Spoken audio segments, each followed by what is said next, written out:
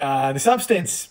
This one was good, but very strange. I would recommend it to anyone who likes the festival film circuit. If you like to watch whatever won accolades at Sundance or Cannes or the Toronto Film Festival or South by Southwest, this is probably a film I'd check out. However, if you're the kind of person who just goes to the movie theater and picks out whatever, this is probably too weird for you. very impressive performance from Demi Moore, an actress who I think most people, myself included, had written off uh, basically since her heyday in the late 80s and early 90s.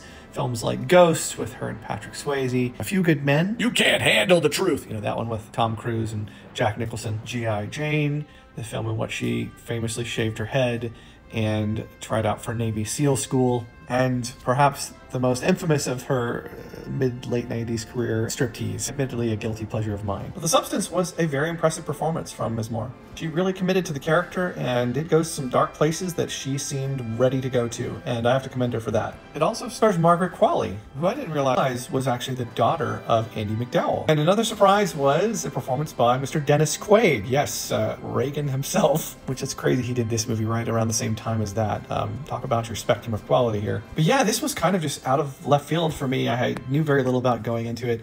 And by the end, I was laughing. Uh, not because it was bad, but because I could tell what the director was going for and was 100% on board. That being said, my poor wife was not that into it, I think.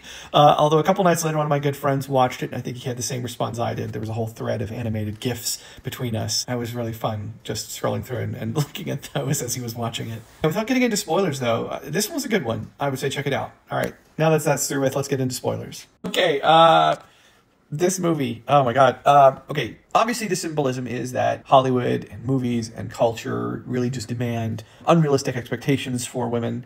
Even if you're a beautiful woman, there are these sort of, you know, expectations that are set both by external elements as well as like self-placed ones. She liked how she felt whenever she was on top of the world and was this beautiful woman and everybody loved her. Weirdly, it kind of parallels Demi Moore's career where, you know, she was seen as this sex symbol, you know, someone at the very top of like, everyone's sexiest whatever actresses list, someone like a Scarlett Johansson or a Sydney Sweeney, and also was in some big movies, you know, and she was very talented in those films as well. She doesn't really get enough credit for her roles like G.I. Jane and Few Good Men, the contributions she made to those films. Actresses who've gone through similar struggles to her, women like Lindsay Lohan or Megan Fox, where the world paid attention to them and gave them tons of love love and admiration, but just kind of tossed them aside shortly after it decided that they weren't in anymore. And to play a character where that is nakedly, I mean, literally nakedly shown, takes a lot of courage. And so, you know, any criticisms anybody's ever had for Demi Moore for playing, you know, sort of shallow roles in things like the Charlie's Angels movies that were from years back, not the one with the Twilight, what's her name in it, but the one with like, was it Drew Barrymore and Cameron Diaz and I think Christina Applegate? No, who was it?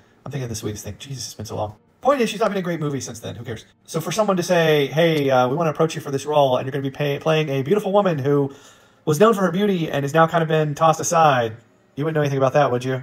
For her to go, yeah, uh, let's let's do it. Again, can't understate the courage that's involved in that. And so, yeah. At the same time, this movie sort of gleefully, I mean, takes a huge all over Hollywood for doing that to girls. I mean, by the end of the movie, it's gone, you know, Cronenbergian, Sam Raimian, whatever you want to call it, Evil Dead. I mean, she is spewing blood on like a hundred. I imagine being an extra in that. Be like, all right, guys, we're gonna turn on the hose again. Get ready. Three, two, one. Psh, you know, like you get blasted with, a, you know. I mean, I was just laughing at that part. I thought it was great. I mean, at one point, I don't know if I, this is probably a blacklist for saying this, but I'm gonna say it. When she turns into the monster form, her head shits out like a t- with an umbilical cord on it. It's, it's great. Anyway, all that said, this is one to check out. Like I said, I'd recommend it. Probably would give it a four to four and a half stars. I guess depending on what kind of mood you're in. If you're feeling particularly sicko mode, yeah, four and a half. if you're my wife, probably not going to give it that high. But if you are the kind of perverted, sense of humor, terrible person like I am, you'll enjoy it. Check it out.